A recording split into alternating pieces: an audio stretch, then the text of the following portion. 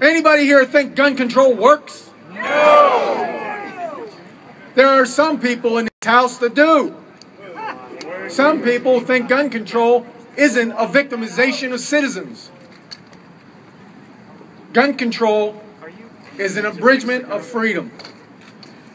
It is not a menu choice where you can pick and choose whether you're pro-gun. So whether you're from York County or Butler, Beaver or Bucks, Allegheny or Montgomery, you all spell liberty the same way.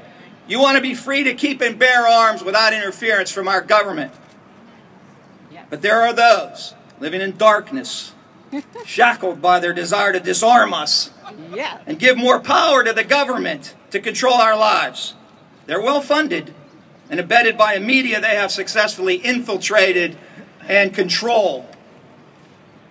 They're in a full assault on our God given right to keep and bear arms. But we'll never let them win. Yeah.